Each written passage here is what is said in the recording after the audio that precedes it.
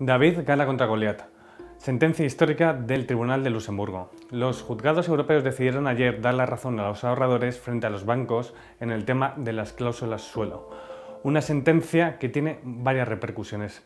La primera, que a partir de ahora, cada vez que hay una sentencia contra los bancos por falta de transparencia en las cláusulas suelo, no solo tendrán que devolver lo cobrado de más hasta mayo de 2013, como, como ocurría hasta ahora, sino que tendrán que reintegrar todo desde la constitución de la hipoteca. Otra repercusión es un varapalo, es que supone un varapalo para la sentencia del Tribunal Supremo, que se quedó muy corta. Además, tiene eh, consecuencias bastante importantes para la banca. La primera, que va, eh, va a suponer un coste de unos 4.000 millones de euros en las cuentas de 2016. Esto supone reducir el beneficio que se esperaba para la banca en un 25%.